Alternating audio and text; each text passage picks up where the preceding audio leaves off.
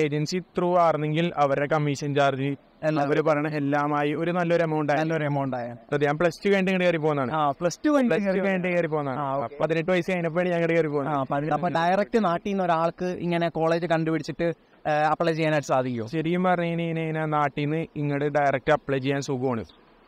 Hello നമസ്കാരം കൂട്ടുകാരെ. Hello Malayalees എന്ന നമ്മുടെ യൂട്യൂബ് ചാനലിലേക്ക് കൂട്ടുകാർക്ക് എല്ലാവർക്കും ഒരിക്കൽ കൂടി സ്വാഗതം. അപ്പോൾ ഇന്ന് ഞാൻ നിങ്ങളെ പരിചയപ്പെടുത്താനായിട്ട് പോകുന്നത് ഏജൻസിക്കൊന്നും ഒരു പൈസ പോലും കൊടുക്കാതെ സ്റ്റുഡൻസ് വിസ നേടിയ കൂട്ടുകാരനെയാണ്. അപ്പോൾ ആളുടെ വിശേഷങ്ങളൊക്കെ നമുക്ക് ചോദിച്ചറിയാം. എല്ലാവർക്കും ഒരിക്കൽ കൂടി സ്വാഗതം. വെൽക്കം ടു അവർ ചാനൽ അപ്പോൾ bro welcome to our channel അപ്പോൾ ബ്രോ നാട്ടിൽ എവിടാണ്? ഞാൻ നാട്ടിൽ എറണാകുളം. എറണാകുളത്താണ്. വീട്ടിലാരൊക്കെയുണ്ട് വീട്ടിലെ അച്ഛൻ വാപ്പിച്ചി ഉമ്മച്ചി മിനിക്കാക ഇക്കാക്ക. ഇക്കാക്ക. എന്ത് ചെയ്യുന്നു? ക്യാക ബാംഗ്ലൂരിൽ ഇപ്പോൾ വർക്ക് ചെയ്യാണ്. വർക്ക് ചെയ്യണം. അപ്പോൾ സർപ്രൈസ് ആയിട്ട് അവർക്ക് ഒരു മെസ്സേജ് കൊടുക്കാനായിട്ട് പറ്റുമോ ഇപ്പോൾ ലൈവായിട്ട്. അല്ല ഒരു അവർക്കൊന്ന് എന്തെങ്കിലും മെസ്സേജ് കൊടുത്തൂടെ ആ ഓനിവിടെ സുഖമായിട്ടിരിക്കുകയാണ്. അവന് കുഴപ്പമൊന്നുമില്ല. ആൾ ഇപ്പൊ ഞാനിപ്പോ ഇത് പറയണെങ്കിൽ എനിക്ക് അവർക്ക് ഞാൻ എബ്രോഡ് വന്ന കാര്യം പൊട്ടും ഇഷ്ടമല്ല കാരണം ഞാൻ ഒറ്റക്കാണ് വന്നത്. ഞാൻ പ്ലസ് ടു കഴിഞ്ഞിട്ട് കയറി പോകുന്നതാണ് പ്ലസ് ടു പ്ലസ് ടു കഴിഞ്ഞ് കയറി പോകുന്നതാണ് അപ്പൊ okay. ഒരു താല്പര്യം ഒന്നും ഉണ്ടായില്ല. കാരണം എന്റെ പ്രായം അതാണ്. പതിനെട്ട് വയസ്സ് കഴിഞ്ഞപ്പോഴാണ് ഞാൻ കയറി ആ പോകുന്നത് പതിനെട്ട് വയസ്സിൽ ഒരു കുട്ടിയാരെ രാജ്യത്തേക്ക് വിട്ടു പഠിപ്പിക്കാതെ അവർക്ക് ടെൻഷൻ ഉണ്ടാവും. അതെ അപ്പൊ അവർക്ക് എനിക്ക് ഒറ്റയ്ക്ക് മാനേജ് ചെയ്യാൻ പറ്റുമോ അങ്ങനെയുള്ള ഒരു പേടിയൊക്കെ ഉണ്ടായിരുന്നു. ആ. ഇപ്പൊ അവർക്ക് അതൊക്കെ മാറി. ഇപ്പൊ ഞാൻ ഓക്കെയാണ് ഇപ്പൊ ഞാനിപ്പോ ഒരു വർഷമായി. ആ. ബ്രോയ്ക്ക് എങ്ങനെയാണ് ഈ കോളേജ് കണ്ടെത്താനും അതേപോലെ ഈ ഇവിടെ അഡ്മിഷൻ കിട്ടാനും അതേപോലെ വിസ കിട്ടാനുമായിട്ട് സാധിച്ചത്? അതൊന്ന് നമ്മുടെ സബ്സ്ക്രൈബേഴ്സിന് വേണ്ടി ഒന്ന് പറഞ്ഞു കൊടുക്കാം ആ പറഞ്ഞു കൊടുക്കാം. ഞാൻ ആദ്യം കാനഡയിൽ പോകാനാണ് നോക്കിയത്.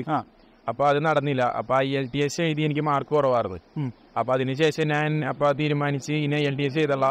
യൂറോപ്പിലേക്ക് വല്ല രാജ്യത്തേക്കും ട്രൈ ചെയ്യാ. അപ്പോൾ അപ്പൊ അങ്ങനെ ഇന്നെ അന്വേഷിച്ചപ്പോ ഞാനും എന്റെ കൂട്ടുകാരനും കൂടിയാണ് മാൾട്ടേനെ പറ്റി അറിയണത്. അവനാണ് എന്നോട് ഫസ്റ്റ് പറയണത്. അപ്പോൾ അപ്പൊ മാൾട്ടേന് മാൾട്ട ലീഡർഷിപ്പ് ഇൻസ്റ്റിറ്റ്യൂഷൻ എന്ന് പറയുന്ന ഒരു കോളേജ് ഉണ്ട്. അവിടെ അവന്റെ ബ്രദറിന്റെ ഒരു ഫ്രണ്ട് റിക്രൂട്ട് ചെയ്യുന്നുണ്ട് അപ്പോൾ അപ്പൊ പുള്ളി ഇങ്ങനെ പുള്ളിനെ കോൺടാക്ട് ചെയ്താണ് ഈ കോളേജിനെ പറ്റി കൂടുതൽ വിവരങ്ങൾ അറിയണത്. അപ്പൊ പുള്ളി പറഞ്ഞ് പേപ്പർ വർക്ക് കാര്യങ്ങളൊക്കെ എങ്ങനെ ചെയ്യണമെന്ന് പറഞ്ഞു തരാം. ഏജൻസിനെ ഡിപ്പെൻഡ് ചെയ്യണ്ട. അപ്പത്തേക്ക് തന്നെ ചെയ്യാം. അപ്പൊ പുള്ളി നമ്മുടെ നാട്ടിലേക്ക് വന്നതിന്റെ വിസ ചെക്ക് ലിസ്റ്റ് കാര്യങ്ങളെല്ലാം അയച്ചു തന്ന്. എന്നിട്ട് ഞങ്ങൾ ഓരോന്ന് ഓരോന്ന് സ്റ്റെപ്പ് ബൈ സ്റ്റെപ്പ് ചെയ്തു തുടങ്ങി. അങ്ങനെ മീൻസ് നമ്മുടെ വിസയുടെ ആ വിസ ചെക്ക് ലിസ്റ്റിൽ വിസ പേപ്പറിന്റെ ക്യാഷ് മാത്രമേ നമ്മുടെ ഇത് പോയുള്ളൂ. അല്ലാണ്ട് വേറെ ഏജൻസി ത്രൂ ആയിരുന്നെങ്കിൽ അവരുടെ കമ്മീഷൻ ചാർജ് എന്നാ അവർ പറയണ എല്ലാമായി ഒരു നല്ലൊരു എമൗണ്ട് ആയിരുന്നു നല്ലൊരു എമൗണ്ട് ആയാണ് പക്ഷേ ഞങ്ങൾ ഒറ്റക്ക ചെയ്തുകൊണ്ട് ആകെ പേപ്പർ വർക്കിന് ഒരു അപ്പോൾ സാധാരണ എല്ലാവരും ആ, വിചാരിക്കുന്നത് ഇവിടെ നമ്മൾ ഇപ്പോൾ സ്റ്റുഡൻസ് ആയിട്ട് പഠിക്കണമെങ്കിൽ ഐ എൽസ് വേണം. അല്ലെങ്കിൽ മറ്റെന്തെങ്കിലും ഇംഗ്ലീഷ് ലാംഗ്വേജ് ടെസ്റ്റുകൾ പാസ് ആവണമെന്ന് വിചാരിക്കുന്നുണ്ട്. അപ്പം അങ്ങനെ പാസ് ആവണമെന്ന് നിർബന്ധമുണ്ടോ? ഇല്ല ഇല്ല ഇല്ല. യൂറോപ്പ് മാൾട്ടയിൽ മാൾട്ടയിലല്ല യൂറോപ്യൻ യൂണിയനിൽ എനിക്ക് തോന്നണ അങ്ങനെ ഒരു ഇഷ്യൂ വന്നില്ല. വരുന്നില്ല കാരണം ഇവിടെ എന്നോട് ചോദിച്ചൊന്നുമില്ല എൽ ഡി എസിന്റെ കാര്യം ചോദിച്ചില്ല എന്ത് കോഴ്സാണ് ഇവിടെ പഠിക്കുന്നത്? ഞാൻ ഇപ്പൊ ഇവിടെ കേരള കോഴ്സ് കേരള കോഴ്സാണ് പഠിക്കുന്നത്. എത്ര നാളത്തെ കോഴ്സാണ് അത് ഒരു വർഷത്തെ. ഒരു വർഷത്തെ കോഴ്സിനാണ് ഇപ്പം കഴിയാറായോ? കംപ്ലീറ്റ് ആയോ? എന്റെ കഴിഞ്ഞ് ക്ലാസ് കഴിഞ്ഞ് ഇനി എനിക്ക് ട്രെയിനിങ് ഉണ്ട്. അത് കഴിഞ്ഞിട്ട് വർക്കിന് ഇറങ്ങും. ട്രെയിനിങ് കഴിഞ്ഞിട്ട് വർക്ക് ചെയ്യുന്നുണ്ട് അപ്പോൾ വർക്കിലോട്ട് മാറാനായിട്ട് എന്തെങ്കിലും പ്രശ്നമുണ്ടോ? വർക്കിൽ മാറാനായിട്ട് പ്രശ്നങ്ങളൊന്നുമില്ല. ആ ട്രെയിനിങ് കംപ്ലീറ്റ് ആക്കുക. അത് കഴിഞ്ഞിട്ട് കോളേജിൽ നമ്മുടെ അസൈൻമെന്റ് കാര്യങ്ങളൊക്കെ ഉണ്ട്. അത് മൊത്തമായിട്ട് സബ്മിറ്റ് ചെയ്ത് കഴിഞ്ഞാൽ അവർ സർട്ടിഫിക്കറ്റ് തരും. അത് വെച്ച് നമുക്ക് അപ്ലൈ ചെയ്യാം. ഓക്കെ നിങ്ങളല്ലാതെ ഇപ്പോൾ വേറെ ആരും ഇവിടെ ഇങ്ങനെ വന്നിട്ടുണ്ടോ? ഡയറക്റ്റ് ഇപ്പോൾ ഏജൻസി വഴി അല്ലാതെ എന്റെ കോഴ്സ് ചെയ്യാനായിട്ട് ഈ അടുത്ത് വന്നായിരുന്നു. ഒറ്റയ്ക്ക് പേപ്പർ വർക്ക് ചെയ്താണോ. ആ. അത് എന്റെ ഈ ബാച്ച് തന്നെയാണ്. പക്ഷെ ഞാൻ വന്നൊരു രണ്ട് മൂന്ന് മാസത്തിന് ശേഷമാണ് അവർ വന്നത്. ഒറ്റയ്ക്ക് തന്നെയാണ് പേപ്പർ വർക്ക് ചെയ്തത്. മീൻസ് അവരുടെ ബ്രദറും കാര്യങ്ങളൊക്കെ അങ്ങനെ സഹായിച്ച് അവർ ഇവിടെ എത്തി. ഇവിടെ എത്തി. അപ്പോൾ ബ്രോ ഇപ്പം എന്റെ കോളേജ് എന്ന് പറയാം ആ കോളേജിന്റെ ഡീറ്റെയിൽസ് പറയാം. കോളേജ് ഏതാണ്? കോളേജിന്റെ പേര് Malta leadership institution M L I നമ്മുടെ ഗൂഗിളിലൊക്കെ അടിച്ചു നോക്കിയാൽ അതിനെപ്പറ്റി മോർ ഇൻഫോർമേഷൻസ് കിട്ടാൻ സാധ്യതയുണ്ട്. അപ്പൊ ഇങ്ങനെ സ്റ്റുഡൻസ് ആയിട്ട് വരാനായിട്ട് ആഗ്രഹിക്കുന്ന കൂട്ടുകാർക്ക് അത് എങ്ങനെ കണ്ടെത്താം എന്നൊന്ന് പറഞ്ഞു കൊടുത്താവോ അതിപ്പോ മാൾട്ടയിൽ ഇഷ്ടംമാതിരി കോളേജ് ഉണ്ട് പ്രൈവറ്റ് കോളേജസ് ഇപ്പൊ മാൾട്ടയിൽ നല്ലൊരു കോളേജ് എന്ന് പറയാൻ എനിക്ക് എം കാസ്റ്റ് ആണ്. എം കാസ്റ്റ് എം കാസ്റ്റ് അല്ലാണ്ട് ബാക്കിയെല്ലാം പ്രൈവറ്റ് കോളേജസ് ആണ്. പക്ഷേ ആ പ്രൈവറ്റ് കോളേജസിലും അതിന്റെ സർട്ടിഫിക്കറ്റ് വാല്യൂ ഉണ്ട്. നമുക്ക് മാൾട്ടയിൽ തന്നെ ജോലി കിട്ടും. ഫോർ എക്സാമ്പിൾ എന്റെ ഒരു അറിവിൽ കേരറിന്റെ ജോലി മാത്രമേ എനിക്ക് അറിയുള്ളൂ. ബിസിനസ് കാര്യങ്ങൾ റിലേറ്റഡ് ആയിട്ടുള്ള എങ്ങനെയാണ് കാര്യങ്ങളൊന്നും അറിയത്തില്ല.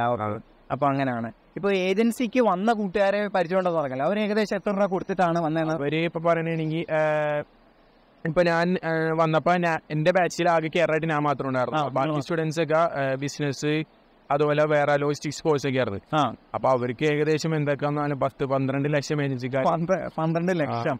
അതുകൂടാതെ പിന്നെ നമ്മുടെ കോളേജ് ഫീസ് ഇല്ല കോളേജ് ഫീസ് ഒക്കെ ഇൻക്ലൂഡ് ആയിട്ട് പത്ത് പന്ത്രണ്ട് ലക്ഷം. പന്ത്രണ്ട് ലക്ഷം. ആ ഓക്കെ. അവർ ആ ബി എഫ് എസും കാര്യങ്ങളും എല്ലാം ചെയ്തു ചെയ്ത് കൊടുക്കും. ബാക്കി എല്ലാ പേപ്പറും ടോട്ടലി റോയ്ക്ക് ഇപ്പോൾ ഒരു കോഴ്സ് കഴിഞ്ഞ് ഇറങ്ങപ്പോഴത്തേനും ഇപ്പോൾ കോളേജ് ഫീസും എല്ലാം ആയിട്ട് പെട്ടെന്ന് രൂപ വരും. ഏകദേശം നാട്ടിലെ എമൗണ്ട് ഇപ്പൊ ഇപ്പൊ ഞാൻ വന്നത് ഹാഫ് എമൗണ്ട് നാട്ടിൽ നിന്ന് അടച്ചിട്ടാണ് വന്നത്. ഹാഫ് എമൗണ്ട് എന്ന് പറയുമ്പോൾ ഹാഫ് എമൗണ്ട് എന്ന് പറയുമ്പോൾ ഇവിടുത്തെ നാലായിരം യൂറോ നമ്മുടെ നാട്ടിലെ ഏകദേശം നാലായിരം യൂറോ ഫുൾ ഫീസ് ആണ്. ഏകദേശം നാട്ടിലെ മൂന്നേ മുക്കാൽ ലക്ഷം രൂപ. മൂന്നേ മുക്കാൽ. അതിന്റെ ഹാഫ് ഫീസ് അടച്ചിട്ടാണ് ഞാൻ ഇങ്ങോട്ട് വരിക. അപ്പൊ ഏജൻസി വഴി വന്നായിരുന്നെങ്കിൽ എത്ര രൂപ അടക്കേണ്ടി വന്നു ഏജൻസി വഴി ആണെങ്കിൽ ചിലപ്പോൾ അവർ ഫുൾ എമൗണ്ട് അടയ്ക്കാൻ പറയും. ഫുൾ എമൗണ്ട് അടയ്ക്കാൻ അടയ്ക്കാൻ പറയും. ഒരു മൊത്തത്തിൽ ഈ പറഞ്ഞ പോലെ പന്ത്രണ്ട് ലക്ഷം പത്ത് ലക്ഷം ഒക്കെ എന്തായാലും ഓക്കെ.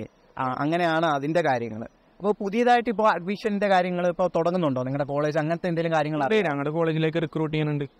ചെയ്യുന്നുണ്ട്. അപ്പോൾ ഡയറക്റ്റ് നാട്ടിൽ നിന്ന് ഒരാൾക്ക് ഇങ്ങനെ കോളേജ് കണ്ടുപിടിച്ചിട്ട് അപ്ലൈ ചെയ്യാനായിട്ട് സാധിക്കുമോ ശരിക്കും പറഞ്ഞു കഴിഞ്ഞാൽ നാട്ടിൽ നിന്ന് ഇങ്ങോട്ട് ഡയറക്റ്റ് അപ്ലൈ ചെയ്യാൻ സുഖമാണ്. പക്ഷേ എന്താ വെച്ച് കഴിഞ്ഞാൽ കുറച്ച് ഓടി നടക്കണം. ആ. പേപ്പർ കാര്യങ്ങൾക്ക് വേണ്ടി നമ്മൾ കുറച്ച് ഓടി കുറച്ച് ഓടി നടക്കണം. ആവശ്യമുണ്ട്. അത് മാത്രമുള്ള ഒരു ബുദ്ധിമുട്ട്. അത് അത് കഴിഞ്ഞ് നമ്മൾ ബി എഫ് എസിൽ സബ്മിറ്റ് ചെയ്ത് നമ്മുടെ പേപ്പറൊക്കെ ഓക്കെ ആണെങ്കിൽ വിസ അപ്പൊ നമ്മൾ ഇപ്പൊ നാട്ടിൽ നിന്ന് നോക്കുന്ന ഒരാൾ ആ കോളേജ് നോക്കുക. എന്നിട്ട് ആളുടെ കോഴ്സ് നോക്കുക. ഏത് കോഴ്സാണ് ഉള്ളതെന്ന് നോക്കുക. എന്നിട്ട് അപ്ലൈ ചെയ്യുക. ഈ അപ്ലൈ ചെയ്യുമ്പോൾ നമ്മൾ ഇപ്പൊ സാധാ ഒരു സി വി ആണോ അതോ യൂറോപ്പാസ് സി വി ആണോ? എന്തൊരു സി വി ആണ് ഇപ്പൊ നാട്ടിൽ നമ്മൾ കോളേജിൽ ഡയറക്റ്റ് അപ്ലൈ ചെയ്യുമ്പോൾ അവർ അവരെന്തായാലും നമ്മുടെ യൂറോപ്പ സി വി ആണ് നോക്കുന്നത്. യൂറോപ്പ സി വി അതൊരു സി വി നോക്കില്ല. Europass C V submit. ചെയ്യുക പിന്നെ നമ്മുടെ പ്രീവിയസ് റിലേറ്റഡ് സ്റ്റഡീസ് ഏതൊക്കെയാണ്? അതിന്റെ സർട്ടിഫിക്കറ്റ് സർട്ടിഫിക്കറ്റുകൾ സബ്മിറ്റ് ചെയ്യുക പിന്നെ നമ്മുടെ പാസ്പോർട്ട് പിന്നെ അങ്ങനത്തെ കുറച്ച് കാര്യങ്ങളുള്ളൂ. പിന്നെ ബാക്കി ആപ്ലിക്കേഷൻ ഫീസ് ഒക്കെ ഉണ്ടാവും ആ ഓക്കെ ആപ്ലിക്കേഷൻ ഫീസ് അടക്കാം. അത് കഴിഞ്ഞിട്ട് അവർ ചിലപ്പോൾ നമ്മുടെ ഓക്കെ ആണെങ്കിൽ അവർ അപ്രൂവൽ ലെറ്റർ വരും. ബാക്കി പിന്നെ പിന്നെയാണ്. പിന്നെ ആ ഓക്കെ ഓക്കെ ഇപ്പൊ നമ്മൾ ഏഹ്, ഇപ്പൊ കോളേജിൽ വെബ്സൈറ്റിൽ എങ്ങനെയാണ് അപ്ലൈ ചെയ്യേണ്ടത് വെബ്സൈറ്റിൽ കയറിയിട്ട് അപ്ലോഡ് ചെയ്യണോ അതോ മെയിൽ അയച്ച് കൊടുക്കുകയാണോ പ്രോ ചെയ്തത്? ഇതിപ്പോ എന്റെ ഞാൻ പറഞ്ഞല്ലോ. എന്റെ എന്റെ ഒരു കേസിലാണെങ്കിൽ എന്റെ കോളേജിൽ ഒരു ബ്രദർ വർക്ക് ചെയ്യുന്നുണ്ടാവും. അപ്പൊ പുള്ളി വഴിയാണ് എനിക്ക് ഒരു ലിങ്ക് അയച്ചു അപ്പോൾ അപ്പൊ അത് ഡയറക്റ്റ് കോളേജിന്റെ വെബ്സൈറ്റിലേക്ക് വെബ്സൈറ്റിലേക്ക് പോകുന്നത് നമുക്ക് അപ്ലൈ ചെയ്യാൻ അപ്ലൈ ചെയ്യാനുള്ള ഒരു ലിങ്ക് ആയിരുന്നു. ആ ഓക്കെ ഓക്കെ ഇപ്പം ഐ എൽസ് നിർബന്ധമായിട്ടുള്ള എന്തെങ്കിലും കോഴ്സിനെ പറ്റി അറിയാവോ? ഇപ്പൊ എന്റെ നിർബന്ധം ഓർന്നില്ല പക്ഷെ എന്നോട് ഇംഗ്ലീഷിന്റെ എന്തോ റിലേറ്റഡ് ആയിട്ടുള്ള ഒരു സർട്ടിഫിക്കറ്റ് വയ്ക്കാൻ പറഞ്ഞായിരുന്നു. അപ്പൊ ഞാൻ പ്രീവിയസ് എൽ ഡി എസ് ഒരു സർട്ടിഫിക്കറ്റ് ഉണ്ടായിരുന്നു ആ. വെച്ച്. അത് അല്ലെങ്കിൽ പിന്നെ നമ്മ നല്ല സ്പോക്കൺ ഇംഗ്ലീഷ് ക്ലാസ് ചെയ്തത് എനിക്ക് അറിയത്തില്ല ആ. പക്ഷെ അത് വെച്ചാൽ മതിയായിരിക്കും മതി. എനിക്ക് തോന്നുന്നു. കാരണം അപ്പൊ ഈ I L T S pass പാസ്സാവണമെന്ന് സ്കോർ വേണമെന്നോ നിർബന്ധമില്ല എല്ലാ കോഴ്സിനും അല്ലേ? ഇല്ല ഇല്ല ഇല്ല. ആ ഓക്കെ ഓക്കെ. എന്റെ അറിവിലില്ല. അപ്പോൾ നമ്മൾ കോളേജിലേക്ക് അപ്ലൈ ചെയ്തു നമ്മുടെ സി വി അവർ സെലക്ട് ചെയ്തു. അത് കഴിഞ്ഞിട്ട് കോളേജിന്റെ ഭാഗത്തുനിന്ന് വല്ല ഇന്റർവ്യൂ എല്ലാം ഉണ്ടോ? ഏഹ്, ആ എന്റെ ടൈമിൽ ഉണ്ടായിരുന്നില്ല പക്ഷെ ഈ ഇടയ്ക്ക് ഇപ്പൊ സ്റ്റാർട്ട് ചെയ്തിട്ടുണ്ട്. സ്റ്റാർട്ട് ചെയ്തിട്ടുണ്ട്. അവർ സ്ക്രീനിങ് ചെയ്തിട്ട് ട്രെയിൻ ചെയ്തിട്ട് ഓക്കെ ആണെങ്കിൽ മാത്രം ഓക്കെ ആണെങ്കിൽ മാത്രമേ എടുക്കത്തുള്ളൂ അല്ലേ? അപ്പൊ അപ്പോൾ ഓക്കെ ആണെങ്കിൽ എടുക്കുമ്പോൾ നെക്സ്റ്റ് സ്റ്റെപ്പ് എങ്ങനെയാണ് പറയുന്നത്? അവർ നമുക്ക് മറ്റേ അപ്രൂവൽ ലെറ്റർ വരും. നമ്മുടെ. കോളേജിലേക്കുള്ള അപ്രൂവൽ ലെറ്റർ.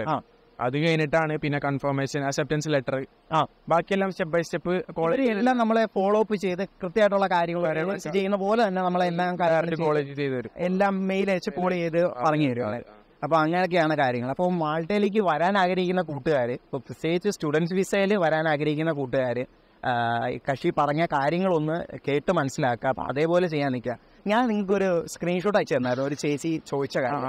അപ്പൊ അതിനെപ്പറ്റി എന്താണ് പറയാനുള്ളത്? ഒന്ന് കീർത്തനെന്നോ കീർത്തിയെന്നോ അങ്ങനായിരുന്നു ചേച്ചിയുടെ പേര്? അപ്പോൾ അതിനെക്കുറിച്ച് എന്താണ് പറയാനായിട്ടുള്ളത്? ആ ഒരു കോഴ്സിനെ പറ്റി. ആ ഒരു കോഴ്സിന്റെ കാര്യമാണ് ചോദിച്ചത്. കോഴ്സിന്റെ കാര്യമാണ് ചോദിച്ചത്. അപ്പൊ ഞാൻ ഉദ്ദേശിക്കുന്നത് ഇപ്പൊ ആ- ചേച്ചി എന്താണോ അവിടെ ഇപ്പൊ കുവൈറ്റ് കുവൈറ്റ് എവിടെ കുവൈറ്റിലെങ്ങാണ്ടാണ്. ആ ചേച്ചി അവിടെ എന്താണോ ചെയ്യണത്? അപ്പൊ നമ്മൾ ഇപ്പൊ ഇങ്ങോട്ട് ഏതിനാ മീൻസ് ഇപ്പം നഴ്സിംഗ് ആ ചെയ്യണമെങ്കിൽ ഇവിടെ നഴ്സിംഗ് തന്നെ ആയിട്ടാണ് വരാൻ ഉദ്ദേശിക്കുന്നതെങ്കിൽ എനിക്ക് അതിന്റെ പ്രൊസീജിയേഴ്സ് അറിയില്ല ആ. അപ്പൊ കെയർ ആയിട്ടാണ് വരാൻ ഉദ്ദേശിക്കുന്നതെങ്കിൽ ഇതുപോലെ തന്നെ നമ്മൾ ഗൂഗിളിൽ കയറാം. പ്രൈവറ്റ് കോളേജസ് അല്ലെങ്കിൽ എം ആ. തോന്നുന്നു കെയർ ആയിട്ട് പഠിക്കാനുള്ളത് അതുപോലെ നമ്മൾ ഗൂഗിൾ സെർച്ച് ചെയ്യുക എന്നിട്ട് അവർക്ക് കോളേജിന് ഡയറക്റ്റ് മെയിൽ അയക്കുക അവർ റിപ്ലൈ തരും ഉറപ്പായിട്ടും റിപ്ലൈ ആയി കഴിഞ്ഞാൽ ആ. കോഴ്സ് സെർച്ച് ചെയ്തിട്ട് നോക്കിയാൽ റിപ്ലൈ തന്നെ. നമുക്ക് ഡയറക്റ്റ് വരാനായിട്ട് സാധിക്കും. സാധിക്കും. അവർ എന്നിട്ട് ആ മെയിൽ അയക്കുമ്പോൾ നമുക്ക് ആപ്ലിക്കേഷൻ ഫോം തരാൻ പറഞ്ഞാൽ മതി. അവർ നമുക്ക് മെയിലായിട്ട് ആപ്ലിക്കേഷൻ ഫോം അതിന്റെ ലിങ്ക് അയക്കും. ഓക്കെ. എന്നിട്ട് ഡയറക്റ്റ് അതിനകത്ത് കയറി നമ്മുടെ കാര്യങ്ങൾ ഡീറ്റെയിൽസ് ഒക്കെ ഫിൽ ചെയ്യുക. ബാക്കി ചെയ്യാവുന്നുള്ളൂ നമുക്ക് നോക്കി കണ്ട് മനസ്സിലാക്കാൻ പറ്റും. ഓക്കെ. അത്തരമുള്ള ചെറിയ കാര്യങ്ങളുള്ളൂ ആ ഓക്കെ. അപ്പോൾ ഇപ്പോൾ ആ ചേച്ചിക്ക് അങ്ങനെ ഇപ്പോൾ കയറാണെങ്കിൽ കയറായിട്ടുള്ള ഇതിനുള്ള സ്കോപ്പ് ഉണ്ട്.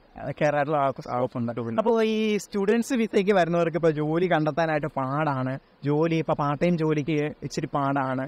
അങ്ങനെയുള്ള കാര്യങ്ങളൊക്കെ എന്താ പറയുക? അപ്പൊ എന്താ പറയുക? ഇപ്പോൾ ഇപ്പോൾ സമ്മറാണ് സമ്മർ ആയതുകൊണ്ട് ഇപ്പോൾ ഈ ടൈമിലൊക്കെ അവനവർക്ക് എന്തായാലും പാർട്ട് ടൈം ജോലി ലഭിക്കും. കാരണം ഇഷ്ടമാതിരി വന്നിരിക്കുന്ന കൂട്ടുകാരെ അങ്ങനെ എന്താണ് പറയുന്നത്? അവർക്ക് എല്ലാവർക്കും ജോലി കിട്ടിയോ? പുതിയതായിട്ട് വരുന്നവർക്ക്? പാർട്ട് ടൈം എന്റെ കൂടെ വന്ന എല്ലാവർക്കും ഇപ്പോൾ ജോലിയുണ്ട്. ജോലിയുണ്ട്. ആ പിന്നെ പുതിയതായിട്ട് വന്നവരെ പറ്റി എനിക്ക് അറിയത്തില്ല അധികം കണക്ഷൻസ് ഒന്നും ഇല്ല അവരെ. Okay okay. ഞാൻ ഓക്കെയാണ് ഇപ്പോൾ ഞാനിപ്പോൾ ഒരു വർഷമായി അപ്പൊ എനിക്ക് എന്റെ കാര്യങ്ങളെല്ലാം കോളേജ് ഫീസും എല്ലാം കഴിഞ്ഞിട്ട് സേവിങ്സ് സേവ് ചെയ്യാനായിട്ട് പറ്റുന്നുണ്ടോ? പൈസ save ചെയ്യാനായിട്ട് പറ്റുന്നുണ്ടോ? വിങ്സ് പറ്റും നമ്മൾ പറയണെങ്കിൽ ആ ടൈമിന് സേവ് ചെയ്യാൻ പറ്റും. പക്ഷേ നമ്മൾ ഫുൾ ഫീസ് ഒക്കെ അടച്ചിട്ട് തന്നെയാണെങ്കിൽ നമുക്ക് സേവ് ചെയ്യാൻ പറ്റും. അല്ലാണ്ട് നമ്മ ഇപ്പൊ ഞാൻ പറയണെങ്കിൽ എനിക്ക് ഹാഫ് ഓഫ് ദി ഫീസ് ഇവിടെ അടയ്ക്കേണ്ടി വന്നത്. അപ്പൊ ഞാൻ ഇപ്പൊ ഫീസ് അടച്ചോണ്ടിരിക്കുകയാണ് എനിക്ക് സേവ് ചെയ്യാൻ പറ്റുന്നുണ്ട് പക്ഷെ എന്നാലും ഞാൻ ഇടയ്ക്ക് നാട്ടിലേക്ക് അയക്കും. പിന്നെ കോളേജ് ഫീസ് അടക്കും. അതുകൊണ്ട് അങ്ങനെ ഇപ്പൊ സേവ് ചെയ്യാൻ പറ്റുന്നില്ല. ആഫ്റ്റർ ദി ദി കോഴ്സ് കഴിഞ്ഞ് എനിക്ക് ജോലി കിട്ടുമ്പോൾ എനിക്ക് സേവ് ചെയ്ത് തുടങ്ങാൻ പറ്റും. ആ ഓക്കെ ഈ കോഴ്സ് കഴിയുമ്പോൾ നമുക്ക് റീഫണ്ടോ അങ്ങനെ എന്തെങ്കിലും അതുണ്ട്. അത് എന്നോട് പറഞ്ഞിട്ടുണ്ട്. റീഫണ്ട് ഉണ്ടെന്ന് കേൾക്കുന്നുണ്ട് അപ്പൊ അത് അപ്ലൈ ചെയ്ത് കഴിഞ്ഞാൽ സെവന്റി ഫൈവ് പെർസെന്റേജ് എത്രയോ. ഫുൾ എമൗണ്ട് ആണോ സെവന്റി ഫൈവ് പെർസെന്റേജ് ആണോന്ന് അറിയത്തില്ല. റീഫണ്ട് ഉണ്ട്. റീഫണ്ട് റീഫണ്ട് ഉണ്ട്. നമുക്ക് ഇത്ര എമൗണ്ട് റീഫണ്ട് റീഫണ്ട് ടാക്സ് ഡിറക്ഷനോ അങ്ങനെ എന്തോ പരിപാടിയോ അതെ അതെ മനസ്സിലാക്കാൻ കഴിയും. അപ്പോൾ കൂട്ടുകാർ ഇത് കണ്ടുകൊണ്ടിരിക്കുന്ന കൂട്ടുകാർക്ക് എല്ലാം മനസ്സിലായി എന്ന് കരുതുന്നു. അപ്പോൾ മാൾട്ടയിലേക്ക് ഡയറക്റ്റ് ഒരു ഏജൻസിയുടെ സഹായം ഇല്ലാതെ നമുക്ക് ഡയറക്റ്റ് കോളേജിലേക്ക് നമ്മൾ റിക്വസ്റ്റ് കൊടുത്ത് കോളേജിലേക്ക് നമുക്ക് മെയിൽ അയച്ച് നമുക്ക് ഇവിടെ സ്റ്റുഡൻസായിട്ട് സ്റ്റുഡന്റ് സ്റ്റുഡന്റ് വിസ നേടി ഇവിടെ വരാൻ സാധിക്കും എന്നാണ് ആൾ പറഞ്ഞത്. അപ്പോൾ കൂട്ടുകാർ ഇത് കണ്ടുകൊണ്ടിരിക്കുന്ന കൂട്ടുകാർ ഏജൻസിക്ക് ആദ്യം കയറി ഫീസ് കൊടുക്കാതെ ഡയറക്റ്റ് നിങ്ങളൊന്ന് ശ്രമിച്ചു നോക്കുക. പിന്നെ ഏജൻസിക്ക് ഫീസ് കൊടുത്ത് വരുന്നതും ഏജൻസിക്ക് ഫീസ് കൊടുക്കാതെ വരുന്നതും അതൊക്കെ നിങ്ങളുടെ ഇഷ്ടമാണ്. ആദ്യം നമ്മുടെ നമ്മുടെ കാര്യങ്ങളൊന്ന് ചെയ്ത് നോക്കുക. ഇപ്പോൾ പറഞ്ഞല്ലോ. ആൾ വന്നത് വളരെ ചുരുക്കം പൈസ കൊടുത്തിട്ടാണ് വന്നത്. ഏജൻസി ഫീസ് ഒന്നും ആയില്ല. ആൾക്ക് വി എഫ് എസ് എമൗണ്ടും ഫ്ലൈറ്റ് ടിക്കറ്റ് മാത്രമാണ് ആയത്. അപ്പോൾ ആ ഒരു എമൗണ്ടും നിങ്ങൾ ഏജൻസി ചോദിക്കുന്ന പത്ത് ലക്ഷവും അഞ്ച് ലക്ഷവും അല്ലെങ്കിൽ പന്ത്രണ്ട് ലക്ഷം രൂപയും എത്ര വ്യത്യാസമുണ്ടെന്ന് ആദ്യം മനസ്സിലാക്കുക. അപ്പോൾ ഈ കൂട്ടുകാരൻ വന്നതുപോലെ നിങ്ങളൊന്ന് ശ്രമിച്ചു നോക്കുക. ശ്രമിച്ച് നോക്കിയിട്ട് നടന്നില്ലെങ്കിൽ പിന്നെ നിങ്ങൾ നിങ്ങളുടെ നിങ്ങൾക്ക് അറിയാവുന്ന പരിചയമുള്ള ഏജൻസിയോ മറ്റ് കൂട്ടുകാരോ അല്ലെങ്കിൽ ആരെങ്കിലും കോൺടാക്ട് ചെയ്ത് ബാക്കി കാര്യങ്ങൾ ചെയ്യുക. അപ്പോൾ എല്ലാവർക്കും ഒരിക്കൽ കൂടി വളരെ നന്ദി. നമ്മുടെ വീഡിയോസൊക്കെ എല്ലാവരും കാണുന്നുണ്ട്. ലാസ്റ്റ് വീഡിയോ വർക്ക് വിഷയമായിട്ട് ബന്ധപ്പെട്ട ഡയറക്റ്റ് വന്ന കൂട്ടുകാരുടെ വീഡിയോ നല്ലപോലെ എല്ലാവരും കാണുന്നുണ്ട്. പക്ഷേ ആരും ചാനൽ സബ്സ്ക്രൈബ് ചെയ്യാതെയാണ് കാണുന്നത്. അപ്പോൾ സബ്സ്ക്രൈബ് ചെയ്യുക നമ്മളെ സപ്പോർട്ട് ചെയ്യുക. നിങ്ങളുടെ സപ്പോർട്ടാണ് നമ്മളുടെ വിജയം. അപ്പോൾ നമുക്ക് അടുത്ത പുതിയ പുതിയ കണ്ടന്റുമായിട്ടും പുതിയ പുതിയ ടോപ്പിക്കുമായിട്ടും നമുക്ക് വരാനായിട്ട് സാധിക്കുന്നതാണ്. അപ്പം എല്ലാവർക്കും നന്ദി. അടുത്തൊരു വീഡിയോ ആയിട്ട് നമ്മൾ വരുന്നതായിരിക്കും. Thank you. Thank you so much. Bye.